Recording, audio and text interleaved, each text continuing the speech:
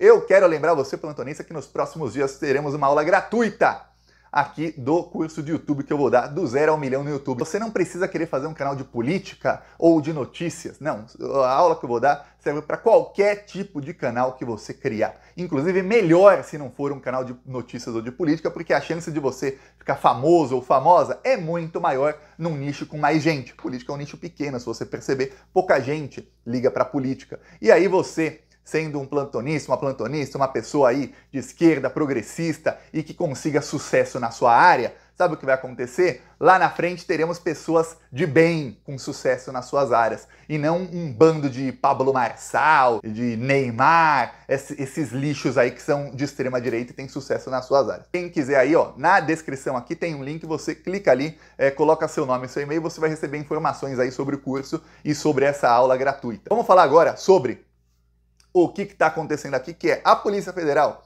tem três delações aí contra Bolsonaro na sua mesa. E agora começa a vazar algumas coisinhas. Isso está apavorando não só o Bolsonaro, mas os parlamentares bolsonaristas. E o Arthur Lira está tendo crises aí, porque foi avisado via imprensa o seguinte: olha só a estratégia do Bolsonaro e do Arthur Lira. São duas estratégias. A primeira, o Bolsonaro quer aprovar um, pro, um projeto de anistia para os terroristas do dia 8 de janeiro e que depois vai se estender a ele, Bolsonaro. Segunda estratégia, o Arthur Lira desengavetou um, um projeto de 2016 de um deputado petista que impedia delações de quem estivesse preso. Pois bem, aquele projeto não, não dá muito certo para Arthur Lira, então ele pegou um outro projeto anexado àquele, que é de 2020, de um deputado do Centrão.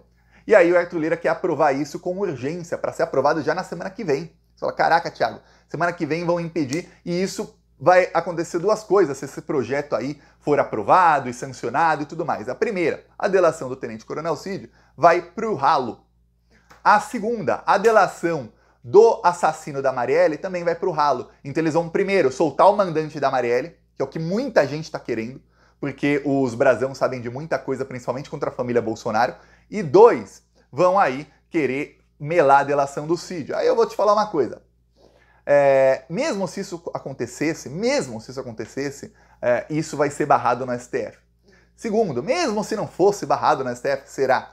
É, isso aí, a delação do Cid não era necessária pela Polícia Federal, que estava muitas vezes pensando: será que vale, será que não vale?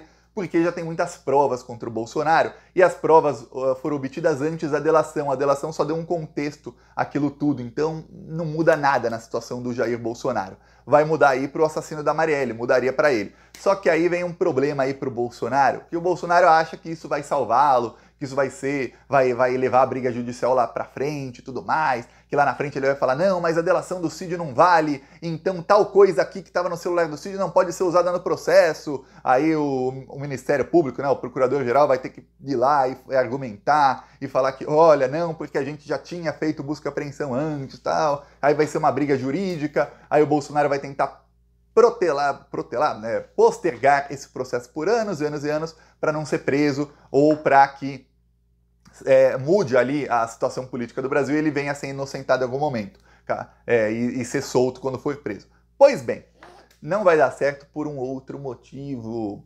Agora a Polícia Federal está fechando aí, tá para fechar três delações.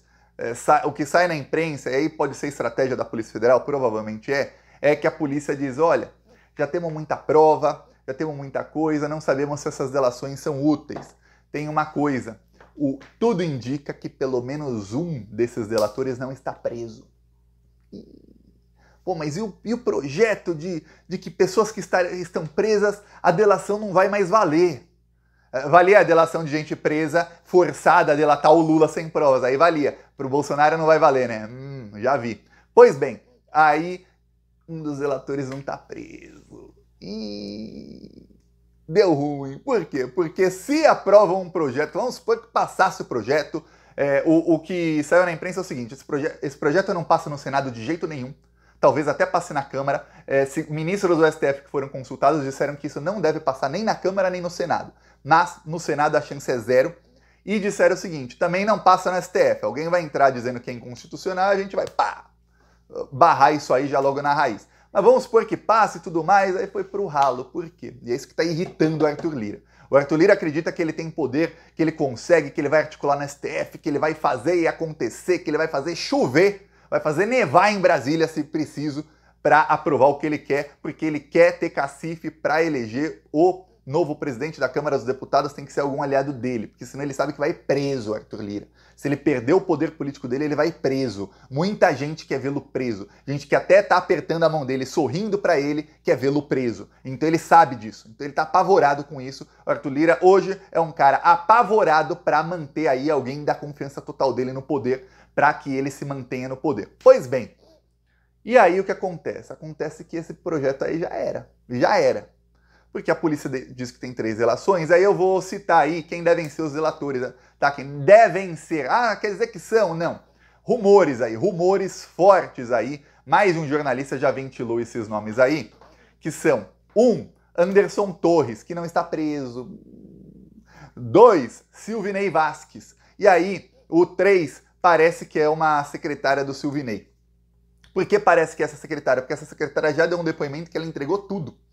E ela entregou tudo sem precisar.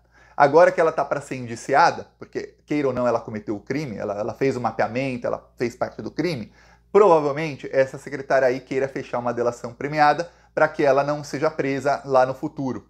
É, é, e tem uma coisa, a secretária do Silvinei também está solta.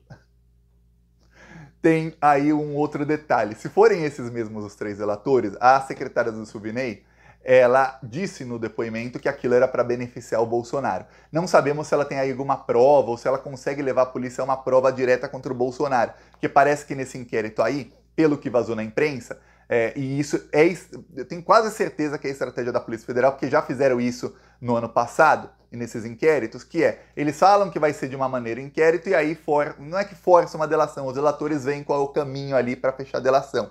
Então a Polícia Federal solta duas informações. Primeira, a que o Bolsonaro não deve ser indiciado nesse inquérito. Como é que impedem milhões de petistas de votar e o maior beneficiário disso tudo não é indiciado? Essa é a primeira informação. E a segunda informação é que o, esse inquérito aí está terminando e que tem as delações aí, três delações que foram oferecidas, talvez não sejam necessárias. Ou seja, os delatores ficam assim, peraí, vou ter que entregar a cabeça de quem? De quem é o maior beneficiário. Porque se ele não tá, se ele tá para ser não indiciado, então quem conseguir falar, ó, oh, gente, foi ele que é o mandante, pô, e mostrar que foi ele que é o mandante, não adianta falar. O crime foi cometido, eu sei, você sabe, não tenha dúvida de que o delegado sabe, o Alexandre de Moraes sabe, o Procurador-Geral da República sabe, todos os agentes da Polícia Federal sabem que isso foi ordem do Bolsonaro. Mas alguém tem que mostrar, ó, foi ordem, ou o Bolsonaro sabia e deu aval, ou o Bolsonaro sabia e não fez nada. Alguém tem que mostrar ali. Ou mostrar como a Polícia Federal chega nisso. Felizmente para nós, tudo está amplamente documentado em mensagens, em áudios e tudo mais. É, então agora tem aí esses três relatores, dos quais um ou dois não estão presos, que estão buscando meios de provar, ó, o chefão é esse aqui. Esse é o chefão, é ele quem mandou impedir 5 milhões de petistas de votarem no dia da eleição. Isso aí é um, é um crime enorme contra a democracia do país. Essa tentativa de manipular o resultado de uma eleição.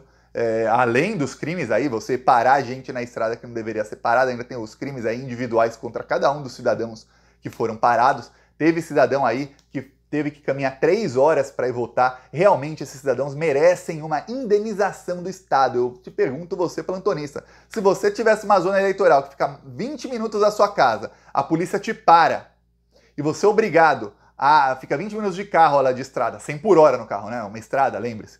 É, aí você é obrigado a andar aí esses quilômetros todos a pé. Às vezes o caminho que você faz a pé não é o mesmo que é da estrada, que a estrada não pode pedestre e tudo mais.